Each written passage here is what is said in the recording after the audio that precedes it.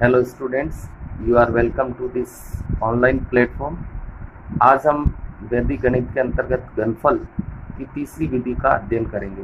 घनफल की तीसरी विधि है सूत्र एकाधिकन पूर्वेण द्वारा घनफल ज्ञात करना। तो सूत्र एकाधिकन पूर्वेण जो है वो एक महत्वपूर्ण विधि है और इसके प्रश्न अक्सर पूछे जाते हैं और इसका सॉल्यूशन जो है वो भी एक विशिष्ट विधि से हल आ, किया जाता है। तो आप इस वीडियो को अंत तक देखें, पूरा देखें, ध्यान से देखें और इस टॉपिक का अच्छा सा अभ्यास करें।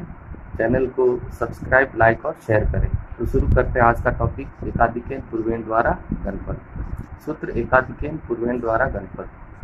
तो इस विधि से प्रश्न को हल करते समय, इस सूत्र के माध्यम से हल करते समय हमें चार खंडों का स्टडी करना है, नहीं, चारों खंडों को याद रखना ये चार खंड कौन कौन से पहला खंड जो होता है वो होता उस संख्या का दाई का दाई अंक का स्क्वायर इंटू उसी दाई अंक का एकाधिक एक अधिक दूसरा जो खंड होता है, वो होता है दाई अंक का स्क्वायर इंटू विचलन। तीसरा जो खंड होता है, उसमें होता है तीन इंटू दाई का अंक इंटू इकाई अंक का स्क्वायर और चौथा खंड जो होता है, उसमें होता है इकाई अंक का क्यूब तो ये चारों जो खंड है, ये आपको अच्छे से याद रखते हैं पहला खंड दाई का अंक का स्क्वायर इंटू उसका एकाधिक, दूसरा खंड दाई का अंक स्क्वायर इंटू विचलन, और तीसरा है तीन इंटू दाई का अंक इंटू इकाई स्क्वायर और चौथा है इकाई अंक का क्यूब तो यहाँ पर विचलन ज्ञात करने की एक विशिष्ट सूत्र है, वो है इकाई अंक को तीन से इंटू करना है, और फिर उसमें से दस घटा लेना तो उससे जो प्राप्त होगा वो विचलन होगा। तो हम यहाँ पर एग्ज़ाम्पल करके देखते हैं। हम एक संख्या ले लेते हैं। Forty five. उसका हमें क्या करना है? घन करना है। तो यहाँ पर हम पहले ये देखेंगे इकाई अंक कौन सा है। इकाई अंक कौन सा हुआ? पाँच। इसी तरह हम ये भी देखेंगे कि इसमें दाई का अंक कौन सा है? तो दाई का अंक कितना है? फोर। इकाई दाई अंक ले लिया, फिर हमें क्या लेना? विचलन। विचलन ज्ञात करने का फॉर्मूला है। इकाई अंक का इंटू तीन माइनस दस। यहाँ पर इकाई अंक कितना है? पाँच इंटू तीन माइनस दस। पाँच थ्री पंद्रह माइनस दस, यानी कि विचलन भी कितना आ गया? पाँच आ गया। तो इसका हम आप चाहें तो इसी तरह से खंड से सॉल्व कर सकते हैं, आप चाहें तो सीधा सीधा कर सकते हैं। तो हम खंड वाइज करते हैं। खंड पहला, जिसमें हमें लेना है दाई अंक का स्क्वायर इंटू उसका एकाधिक। दूसरा खंड है, उसमें हमें लेना है दाई अंक का स्क्वायर इंटू विचलन। तीसरा खंड हमें लेना है, तीन इंटू दाई अंक इंटू इकाई अंक का स्क्वायर और चौथा हमें लेना है, इकाई अंक इकाई अंक का क्यूब इसे सामने लिख लेते हैं, ज़्यादा ठीक रहेगा, फिर खंड वाइज सॉल्व कर लेंगे। तो दाही का अंक यहाँ पर कितना है? चार। उसका हमें क्या करना है? स्क्वायर इंटू उसका एकाधिक, चार का एकाधिक कितना होता है? पाँच। इसी तरह दूसरे खंड के लिए दाई का अंक दाई का अंक चार है, उसका स्क्वायर इंटू विचलन। विचलन कितना है? पाँच। तीसरा खंड देखते हैं तो इसमें है तीन इंटू दाई का अंक दाई का अंक कितना है? चार।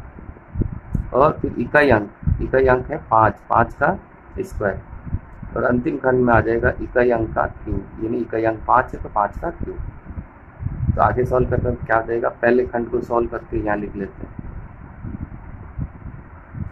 ये हो गए चार चौक सोलह सोलह पंजे अस्सी। दूसरा खंड भी चार चौक सोलह सोलह पंजे अस्सी। तीसरा खंड देखो। पच्चम पच्चीस पच्चीस चौके सौ सौ इंटू तीन कितना हो गया? तीन सौ। और ये हो जाएगा पाँच का क्यूब यानी पाँच इंटू पाँच इंटू पाँच, एक सौ पच्चीस। अब हमें इसमें भी वही इकाई अंक का चयन करना ओनली इकाई अंक लिखते रहना और दाई और सैकड़ा अंक को आगे के खंड में भेज देना। और यहाँ से इकाई अंक कितना आएगा? पाँच। तो यहाँ दाई और सैकड़ा जो बारह बचा वो यहाँ आकर के जुड़ जाएगा। तो ये कितना बनेगा? तीन सौ बारह। इसका इकाई अंक कितना है दो? ये इकतीस हम इसमें ले जाते हैं। तो कितना बन गया? एक सौ ग्यारह। इसमें से एक अंक काम में लेंगे इकाई अंक ग्यारह इसमें चला जाएगा तो कितना बनेगा? Ninety one. तो यहाँ आखिर वाला पूरा हिस्सा लिख लेते हैं। तो ये इस संख्या का घनफल आ गया, यानी फोर्टी फाइव का घनफल है वो। कितना हो जाएगा? इक्यानवे हज़ार एक सौ पच्चीस। चलो, एक एग्ज़ाम्पल हम इसका और देख लेते हैं। हम यहाँ पर लेते हैं। संख्या। सेवेंटी थ्री का घनफल तो यहाँ पर भी वही हमें पहले इकाई अंक का पता करना है। इकाई अंक आप ध्यान दें कि यहाँ पर कितना है? तीन। दाही अंक कितना है? दाही अंक इसमें है सात। और विचलन कितना बनेगा? विचलन का सूत्र क्या है? इकाई अंक इंटू तीन माइनस दस। तो इकाई अंक यहाँ पर कितना तीन। तीन इंटू तीन तीन या नौ। माइनस दस। नौ माइनस दस यानी माइनस का एक। विचलन यहाँ माइनस का आ गया। तो आपने वही खंड, पहला खंड क्या है? दाई अंक का स्क्वायर इंटू उसका एकाधिक। दूसरा खंड क्या है? अंक का स्क्वायर इंटू विचलन तीसरा खंड क्या है? तीन इंटू ढाई अंक इंटू इकाई अंक का स्क्वायर चौथा खंड क्या है? इकाई अंक का क्यूब तो मान रखते हैं। देखो, दाई का अंक, दाई का अंक यहाँ पर कितना? है सात सात का स्क्वायर इंटू उसका एकाधिक, यानी सात का एक अधिक सात का एक अधिक कितना हो गया? आठ। यहाँ पे भी दाई का अंक का स्क्वायर दाई का अंक है सात सात का स्क्वायर इंटू यहाँ पर आएगा विचलन। विचलन कितना? माइनस का एक। इसी तरह इसमें चलते हैं तीन इंटू दाई का अंक। दाई का अंक है सात और इकाई अंक का स्क्वायर इकाई अंक है तीन तीन का स्क्वायर इसी तरह इसमें चलते हैं तो इकाई अंक का क्या आएगा? क्यूब आएगा। इकाई अंक तीन है तो तीन का क्यूब तीन क्यूब अब इसको सॉल्व करते हैं तो पहला खंड क्या बना? सत्तर सत्तर गुण पचास इंटू आठ। इसको ऐसे लिख लेते हैं, गुण पचास इंटू आठ। ये पहला खंड हो गया। दूसरा खंड, गुण पचास, सत्तर सत्तर गुण पचास इंटू माइनस एक। तो ये हो जाएगा माइनस का गुण पचास। तीसरा खंड सात या इक्कीस, तीन तिया नौ। ये लिख लेते हैं ऐसे। फिर अगले पद में सोल्व कर लेंगे। और तीन का क्यूब होता है, तीन तिया नौ नौ तिया सत्ताईस, ये चारों खंड की संख्या लिखी। अब हम इसको आगे देखते हैं। नौ थे बहत्तर, सात, आठ बत्तीस बत्तीस और सात उनचालीस थ्री नाइन्टी टू हो गया। ये माइनस के फोर्टी नाइन है यहाँ पर नौ से इंटू करेंगे। नौ नौ दुनिया अठारह वन एट्टी नाइन आ गया। ये ट्वेंटी सेवन अब यहाँ पर एक पद, जो एक खंड है, वो माइनस में आ रहा है। तो ये किसमें से घटा सकते हैं हम? कम से कम पचास में से घटेगा। तो पचास में से घटाने का मतलब यहाँ से, इसमें आधा जो है, दस दस वाला ही है, इसलिए दस, यानी कि यहाँ से एक कम करेंगे, दस इधर आएगा।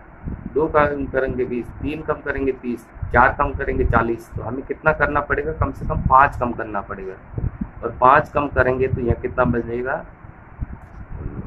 थ्री एटी सेवन बचेगा। और वो पाँच कम जो हुआ, वो पाँच इधर क्या लिखा जाएगा? पचास। Minus forty nine. तीसरे खंड वन वन एटी नाइन था और चौथे खंड में है ट्वेंटी सेवन। अब हम इसके इकाई अंक काम में ले लेते हैं। पहले थ्री एटी सेवन, यहाँ से इसको घटाते कितना बचता? एक। ये हो गया वन एट्टी नाइन और ये हो गया ट्वेंटी सेवन। हमें इकाई अंक काम में लेना और ढाई और सैकड़ा को अगले खंड में जोड़ देना। तो यहाँ से इकाई अंक कितना आएगा? सात।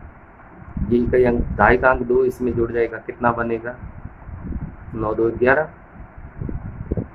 तो वन नाइन्टी वन। तो यहाँ से इकाई अंक कितना काम आएगा? एक। ये नाइनटीन इधर चला जाएगा। नाइनटीन और वन कितना हो गया? ट्वेंटी। इकाई अंक कितना? है ज़ीरो। ये टू इधर चला जाएगा। तो कितना बचेगा?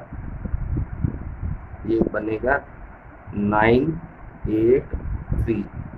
तो इस संख्या का घनफल आ गया three eight nine zero one seven. ये किसका क्यूब था? सेवेंटी थ्री का क्यूब था। इस तरह ये एकाधिकन पूर्वेण विधि बहुत ही महत्वपूर्ण है। कुछ नहीं है थोड़ा सा ध्यान रखना कि प्रश्न में दिए गए इकाई अंक ढाई अंक और विचलन को पहले लिख लेना और फिर इस खंडों के सूत्र के माध्यम से इसको सोल्व करना। तो पहला खंड होता दाई का स्क्वायर इंटू उसका एकाधिक, दूसरा खंड होता दाई का स्क्वायर इंटू विचलन, तीसरा खंड होता तीन इंटू दाई का इंटू इकाई अंक का स्क्वायर और चौथा खंड होता है इकाई क्यूब खंड को अलग अलग सोल्व करके फिर इस तरह से आपको सोल्व करना। माइनस का पद जब भी आता है तो आगे वाले खंड में से जो आधार होता है, उस आधार से जैसे एक कम लेते हैं तो आधार दस का है तो दस इधर आएगा। दो कम करते हैं तो आधार दस का है तो बीस आएगा। तीन कम करते हैं तो आधार दस है तो तीस आएगा। तो यहाँ पाँच, पचास की ज़रूरत पड़ रही थी तो इधर से कितने कम हो गए? पाँच कम हो गए, वो पचास हो गया और उसमें से घटा दिया। तो ये माइनस का समाधान इस प्रकार से करते हैं। अगले टॉपिक के साथ शीघ्र ही आपसे मुलाकात होगी। तब तक के लिए धन्यवाद। जय